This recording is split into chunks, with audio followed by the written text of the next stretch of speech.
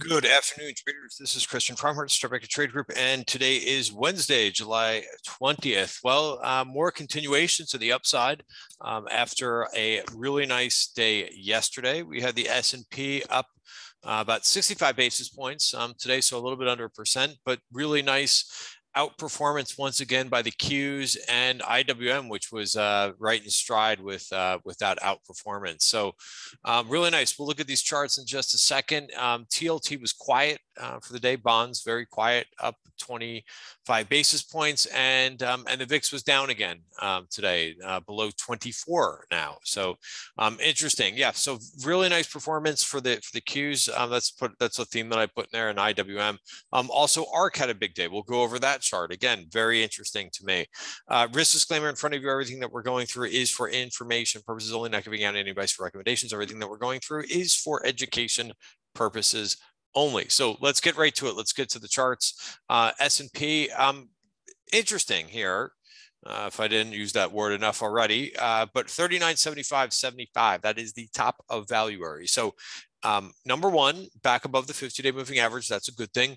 Uh, number two, I have to see this uh, this get above the um, the value area for me to get uh, more enthused about this market. But um, but very nice.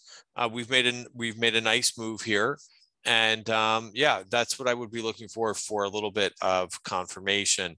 For NASDAQ, or, the, or why don't we bring up the Qs? Because I know more people look at the Qs.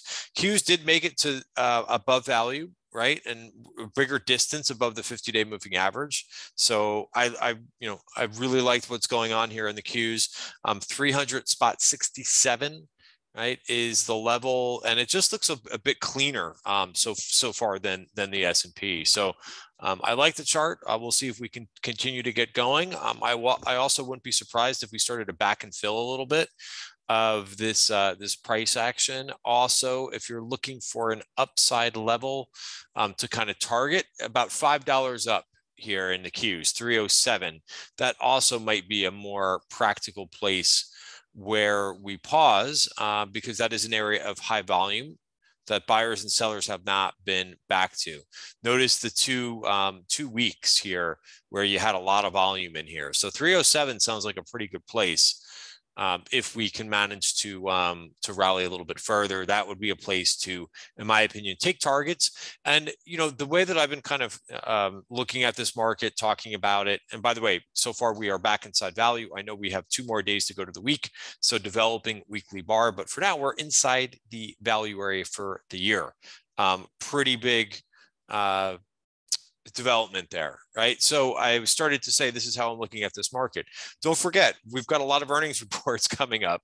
You know, some big, you know, the heavy hitters. Today we heard, um, you know, a little snafu in the market with Google talking about how they are pausing uh, hiring, right? That was the same situation that we heard a couple days ago with Apple.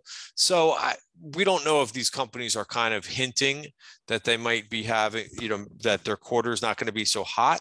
So, you know, you could take this price action and um, as I've you know say this phrase quite a bit but if you made some money put it in your pocket right you don't have to mess with the unknown right you don't have to mess with all the people on twitter who are trying to gauge whether or not the bottom is in right just take take the money, put it in your pocket, and and then you can deal with the unknowns, right?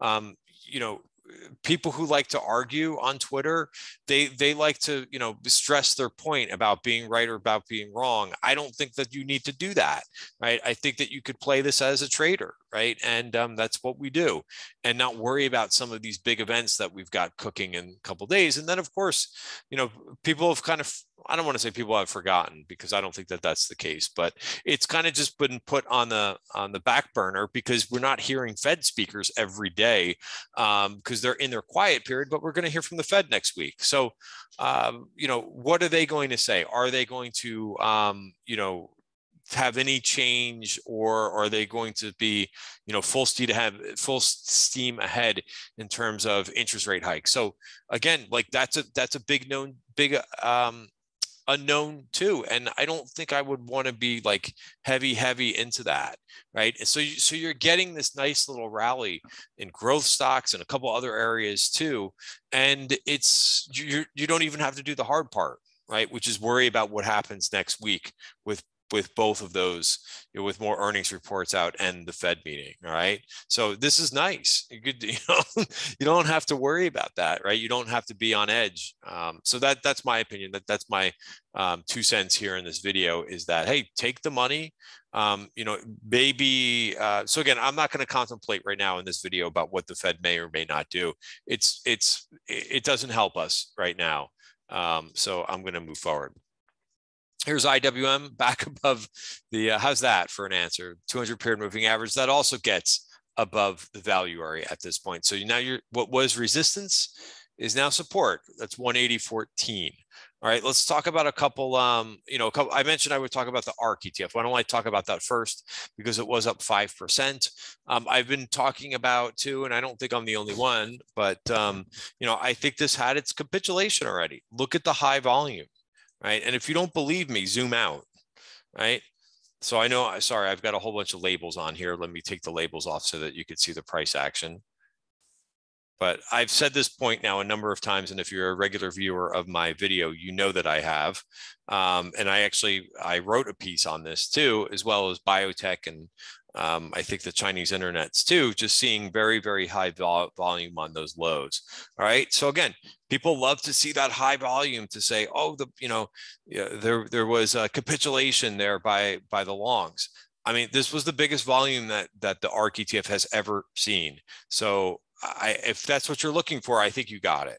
Right. Um, now that said, right, I I don't really uh, like to go long this ETF. I, I don't really agree with the the management style um, of how they're they constantly add to losers, right? Because I'm a trend trader, right? I can't agree with that, right? The, you know, adding to losers is not a good trading principle.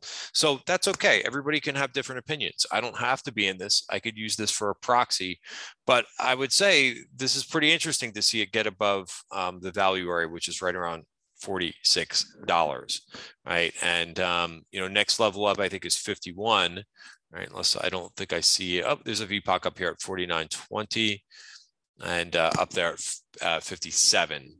Right, so there's some resistance, but again, you know, very interesting. And when you look across name, you know, what what these names did today, you know, coin was, I mean, some crazy moves. Um, Shopify finally had a big day, right?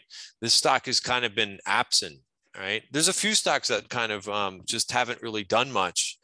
And, um, you know, even though the rest of the market has been rallying, or a lot of growth has been rallying, Shopify wasn't one of those stocks until today and had a monster day up 12%. So maybe it was kind of, it, was due considering a lot of other stocks uh, in, in growth um, you know, have been moving quite nicely. Um, one name that I added to yesterday, we'll kind of get to some of my names and then I'll get to a couple other ops. So I'll kind of go back and forth a little bit with Celsius. Um, you know, there was this crazy, crazy move this day, um, not on super high volume, um, but it brought it in and I added yesterday into the dip. Um, and this was, I think, my, my biggest winner for the day. So really nice. Um, you know, another observation that I kept um, that I've mentioned over the last couple days is Meta has been really strong from the lows. Right now, again, I, am not sure I would want to do anything at this point, but it's just you know a technical range, right? It broke this this little range on the lows and has made a really nice move. It was up four percent for the session. Um, the chips I played Nvidia today. Um, you know, I still think, even though I got out of because I was just in a day trade in this one, I think it could keep going to 182. Right, but this has not been where the strength has been in the in the chips. Right, there's been some better um, areas in the um, in the chips, which were up another two percent uh, for the session. Like Qualcomm, for example, back to its 200-day moving average, um, another strong day uh, in there. All right. Um, I thought that you know, I'm you know, I'm looking at some of these plays, even though um, I don't like how this name closed, but Cloudflare finished up about seven percent for the day. Um, someone brought to my attention Crocs. Right, also broke its value area and back above the its 50-day moving average. Right, I think name has a decent short interest to it. Maybe keep an eye on that name. Um, Dollar Tree was was a winner for me. I took this trade off today. I may have taken it off a little bit too early. All right. Um, I like what Costco's doing. Sorry, I'm just going to jump around here a little bit.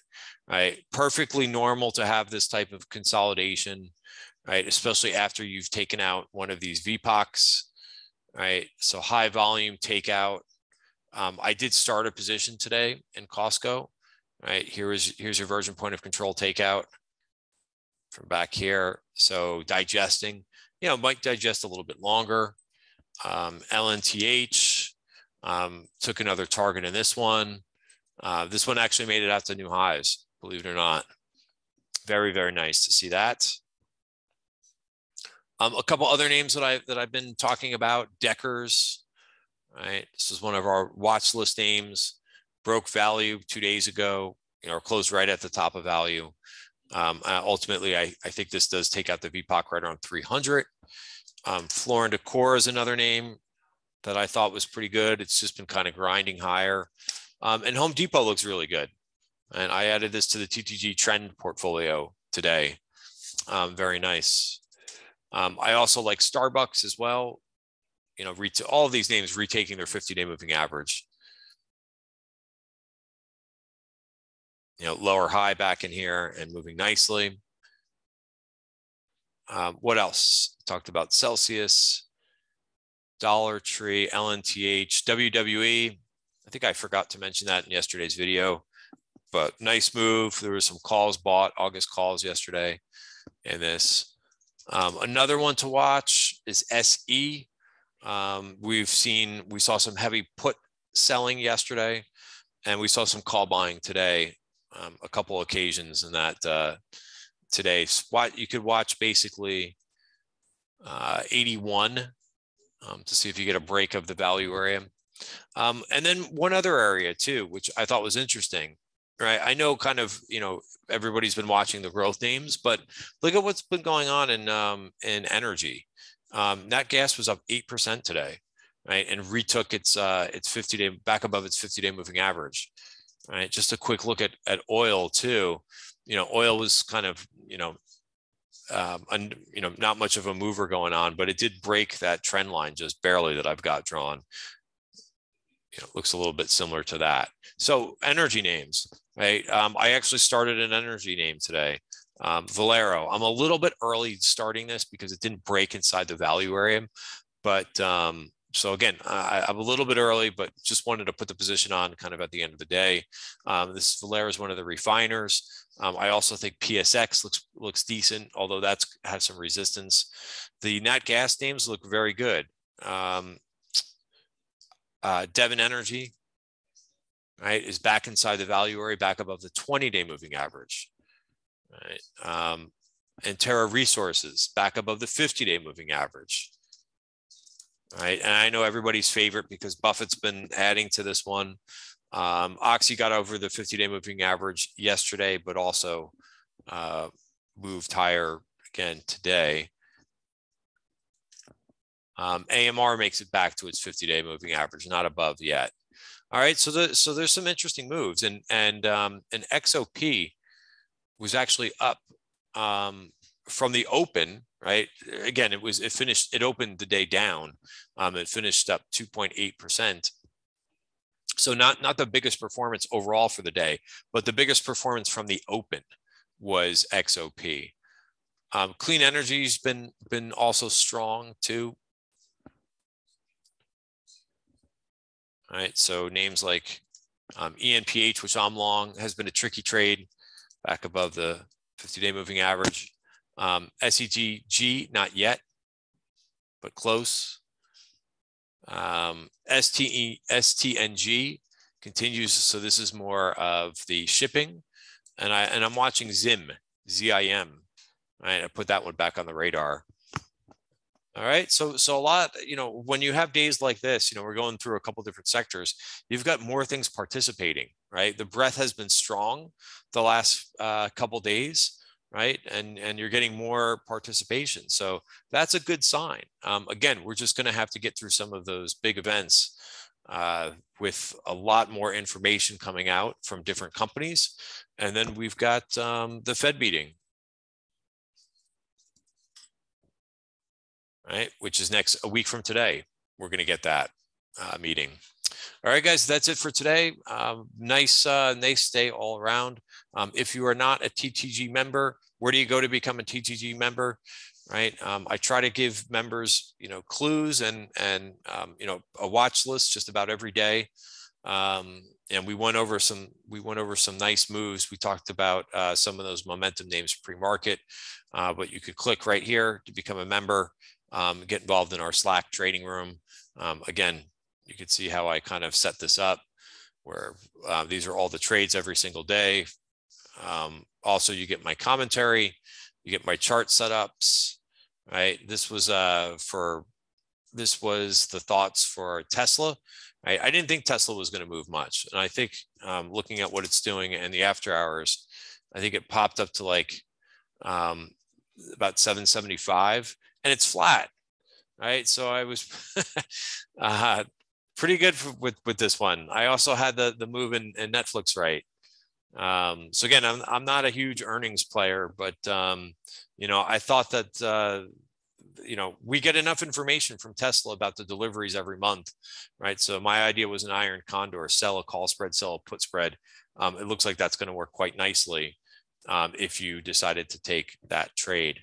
All right. And um, what else did I have here in charts? SentinelOne's kind of an, an interesting to watch. Um, small cap cyber name. Let's see if we could break uh, break 20, 26 tomorrow. Um, in, Intuit, a member brought this one to my attention. Um, now at the top of value, see if we could break 471. Costco, we went over that one. All right, guys, we'll end it there. Thanks for watching. Have a great night. See you tomorrow.